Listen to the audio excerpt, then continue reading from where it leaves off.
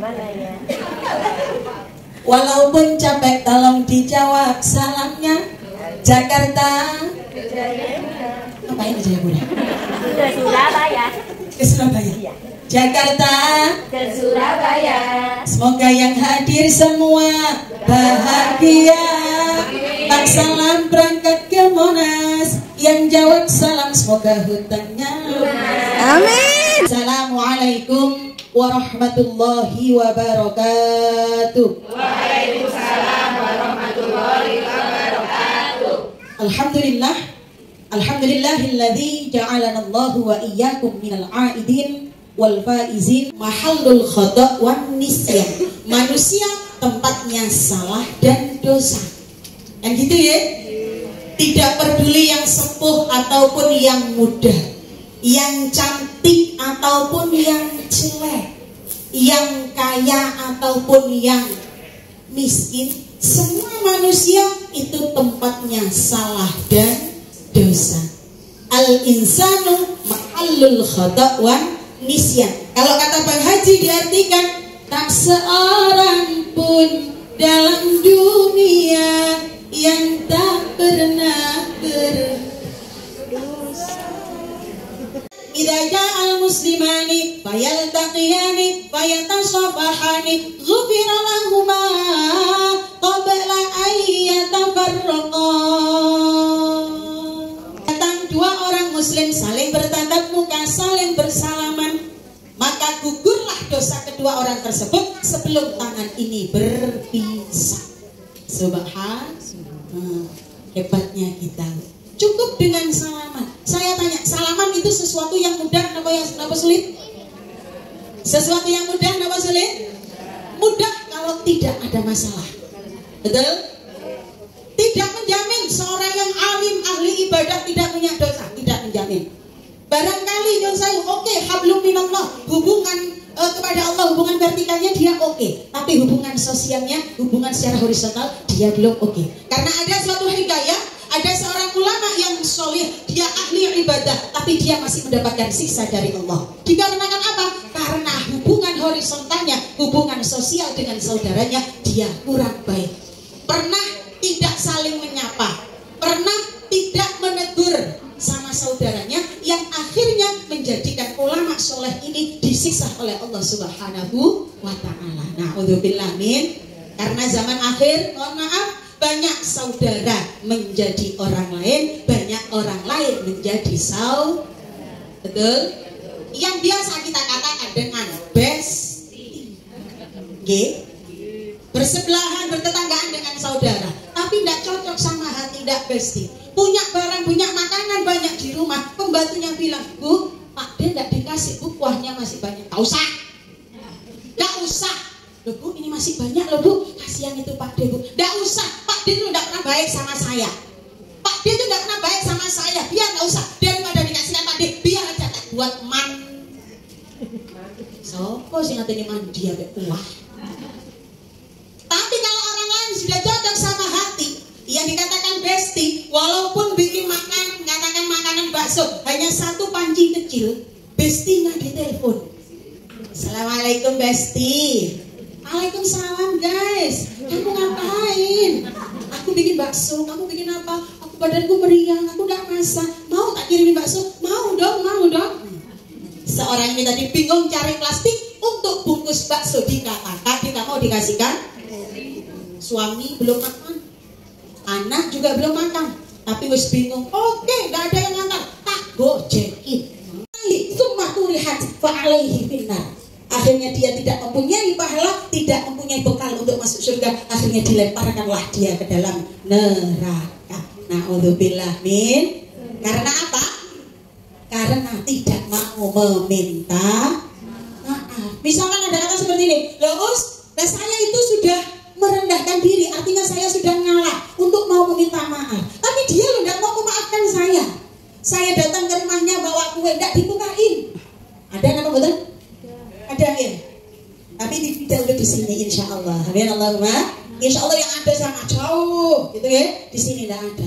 Saya itu sudah mengalah untuk uh, datang duluan meminta maaf tapi dia tidak mau. Terus gimana dong kalau sudah seperti itu wa ufawwidu amri ilallah saya pasrahkan urusan saya kepada Allah Subhanahu wa taala. Yang penting saya sudah ikhtiar. Saya sudah berusaha untuk meminta maaf supaya saya jangan sampai menjadi umat baginda Nabi yang bangkrut.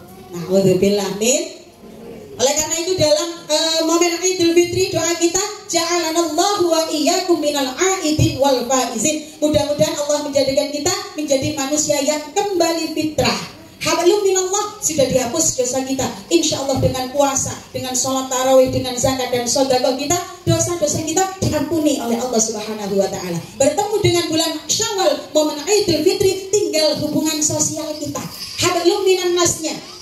Hablum minan nasnya kita selesaikan pada momen-momen bulan Syawal untuk acara halal bihalal kita saling memaafkan. Nah ini nanti diaplikasikan. Mungkin ketika di akhir acara nanti setelah doorpress salam salaman satu persatu jangan sampai ada yang terlewat. Supaya apa? Halal bihalal ini benar-benar bisa saling memaafkan dan mempererat tali bersaudaraan. Amin. Allahumma aidin wal faizin. Dan manusia yang menang manusia yang beruntung.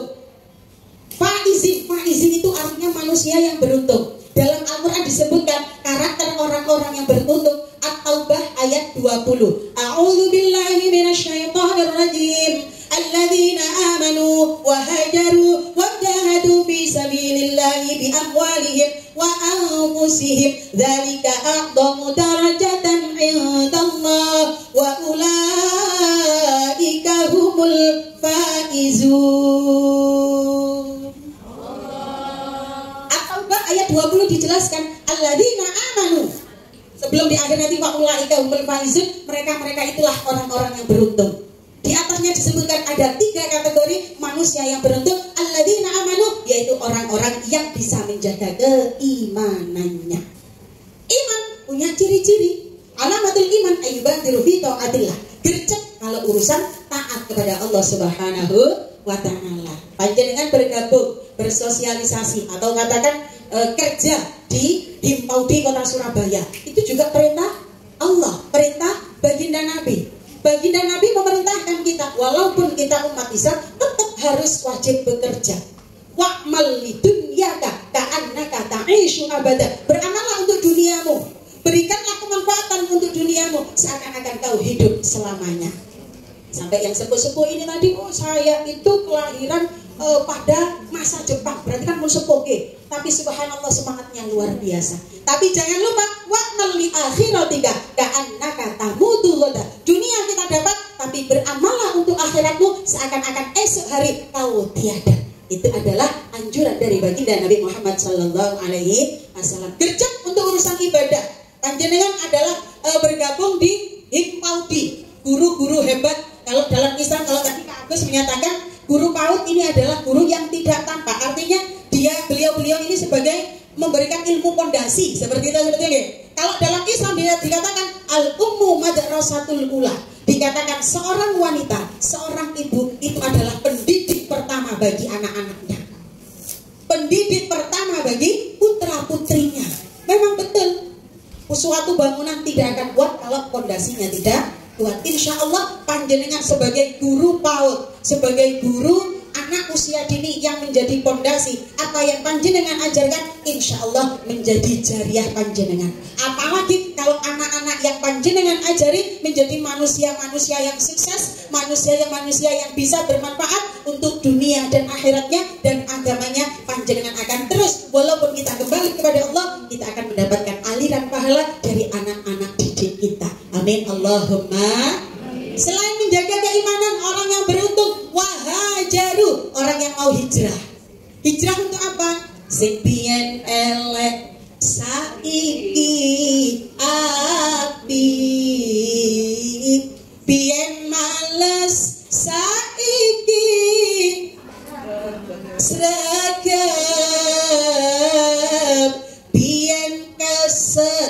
saiki tahu kesetu keset nggih. Keset keset itu malas nggih. Saiki rajin. Biyen benci saiki besti subhanallah. Allahumma sholli ala sayyidina Muhammad jadi hijrah. Hijrah itu pindah dari sesuatu yang jelek menuju yang bagus. Mungkin kalau dulu belum berapa aktif untuk himbau di kota Surabaya untuk memajukan generasi-generasi Indonesia yang hebat sekarang berubah. Oke aku akan ikut andil. Aku akan ikut belajar bersama ibu-ibu. Eh, pembina ini bernama Bunda Bunda Pembina. Kita doakan beliau-beliau selalu sehat panjang umur untuk bisa mendampingi dengan semua. Amin. Allahumma karakter manusia beruntung faizin menurut atau 20 adalah wajahatu fi sabilillah di amwat wa anfusin yaitu manusia-manusia yang mau berjihad, mau berjuang. Panjenengan di sini saya yakin butuh perjuangan, betul? Apalagi seorang wanita. Seorang wanita itu adalah e, sebagai penggerak yang ada di rumah tangga. Panjenengan dia bertanggung jawab di rumah juga ada kegiatan di luar itu adalah sesuatu yang luar biasa. Di rumah alhamdulillah bertanggung jawab, di rumah panjenengan e, sukses di rumah tangganya, tapi di luar panjenengan juga sukses dengan ikut kegiatan seperti ini. Mudah-mudahan perjuangan panjenengan di diiringi ridho dari Allah Subhanahu wa taala. Amin. Allahumma dengan halal bihalal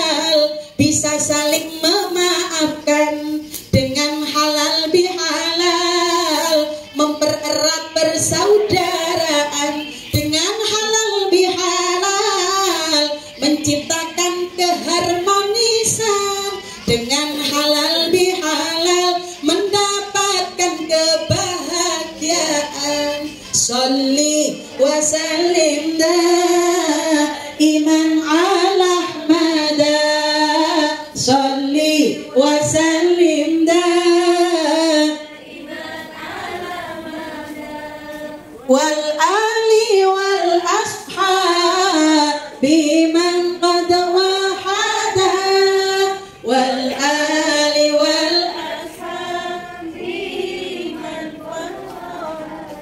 Semoga kita semua panjang umur bitaatillah Ya Allah kita mohon badan sehat walafiat. Ya Allah kita mohon putra putri solih solihah Ya Allah kita mohon rizki halal barakah Salli wa